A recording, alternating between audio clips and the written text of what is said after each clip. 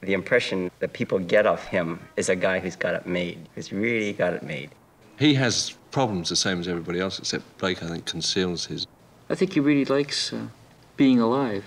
If he's depressed, maybe it's because he feels he's not doing enough. You know, like he feels maybe he's wasting his time working. Like people say, what do you do? I just fly around, you know, and I need the money, I work. Nobody said a man's got to work. A guy like that, just moving into a scene and, and out of it, turns on people, you know, like uh, you see him and you say, God, he's free, he's free, and uh, I should be like that.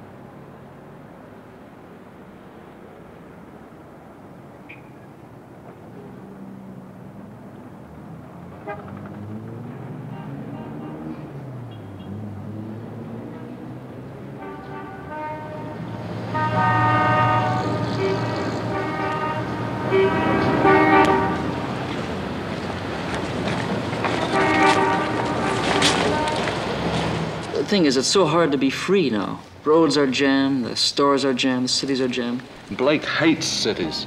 Blake won't go anywhere near a city unless he has to. Blake's idea is what you don't spend, you don't have to earn. And that, that's why he drives these terrible, beat up old cars.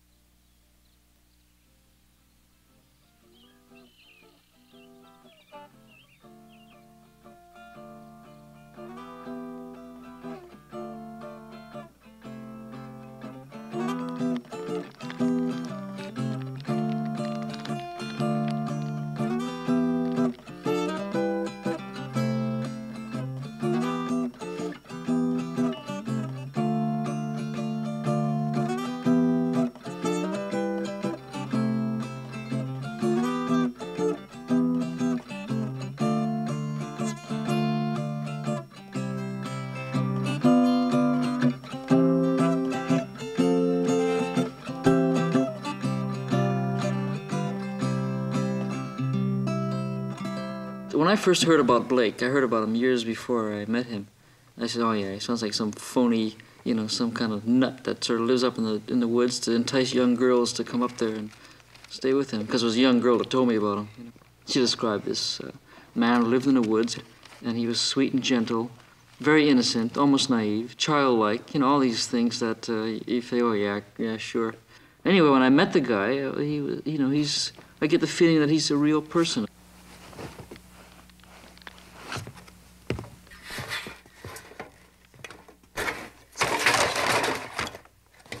He can't, stand to be tied down. And this is why he gets so mad at himself when he collects all this junk. So what he does now really is he just locks the door and pays his rent in advance and heads out.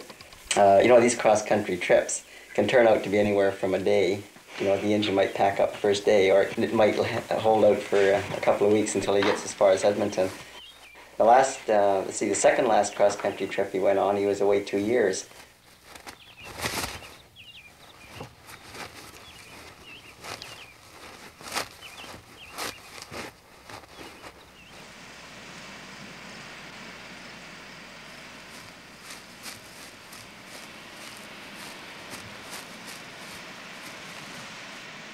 Blake was born in the wrong age. You know, all his heroes are First World War fighter pilots. You know, he's always talking about the First World War. You know, Bishop Barker, Collishaw, and uh, this is when Blake really comes alive. There's a thousand and one drawings that he's got up on his wall of his aeroplane. in British markings, you know, in French markings, and uh, with little um, crosses all down the fuselage.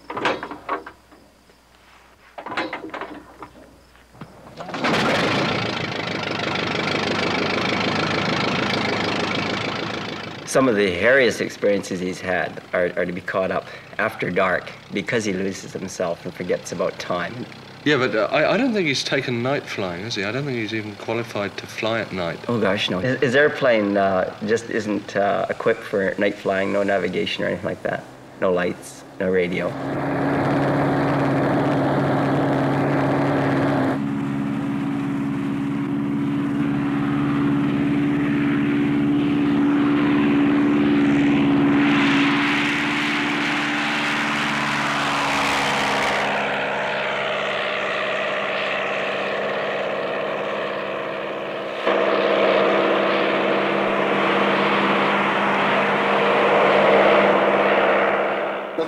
Is, he's not a daredevil type of fellow. And uh, so he's so sincere in thinking he's doing everything so safe. Even his unique uh, methods of uh, navigating, such as following roads, and which is fine until they fork, and then you got problems. Does he ever use a parachute? No. He'd never bail out. For him, the idea of leaving his airplane is absolutely unthinkable. He'd put it into the trees or into a lake first.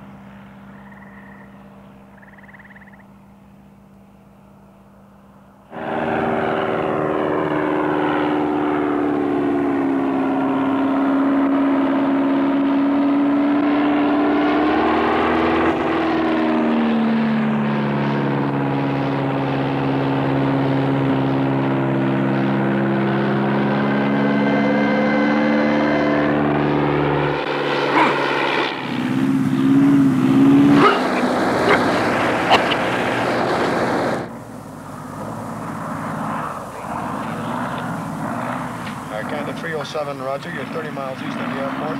Transpond 04 Alpha and contact Montreal Arrival Control to frequency 119.3. 19.3, good night. Don't know, sir. Can't raise him. Air Canada He's just coming in anyway. Must be in trouble. this is ridiculous.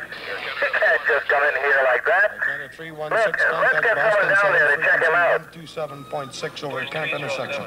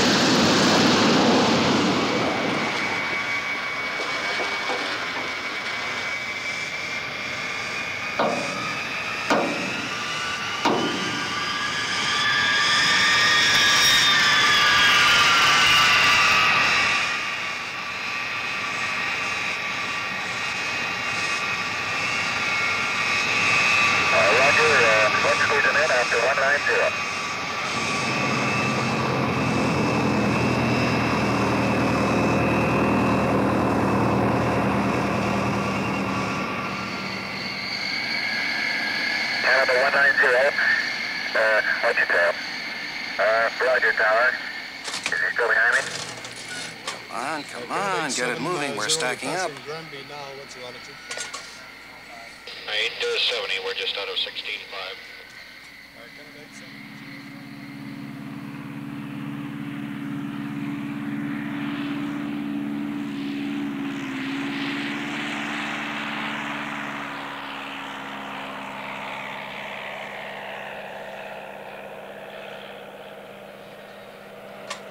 Canada 3079 you're three miles northeast of Roxton. Have you left off thousand yet?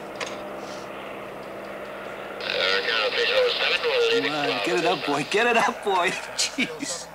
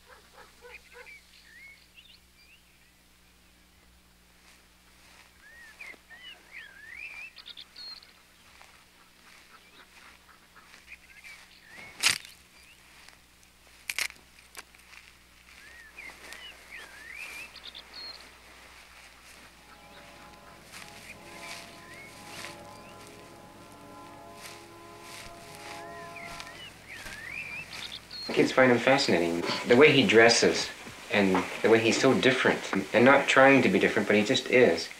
The thing that I think that people respond to him in is that he's, he's, you know that he's not going to hurt you. You don't have to be on your guard. I often envy his uh, this real sense of freedom that he has that we would all like. But what I am not willing to do is give up what I've got in, in married life and my children.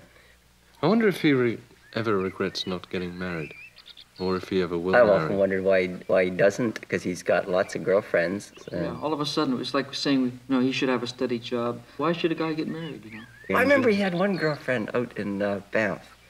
And this is a very personal thing, but I, I think that he was really interested in her. And you know that that girl was nuts about him, and she couldn't bring herself to introduce him to her parents. Because he's such a character, or such an individual, such a. I mean, I, she evidently came from a very staid family, and she couldn't bring herself to do it. To finally, yeah, they called it off.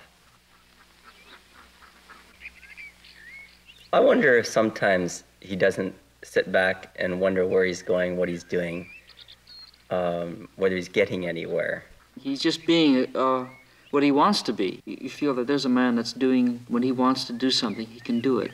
You know, it just makes you want to feel that I'm going to get in that position in my way. He just happens to be uh, freer than, than most of us.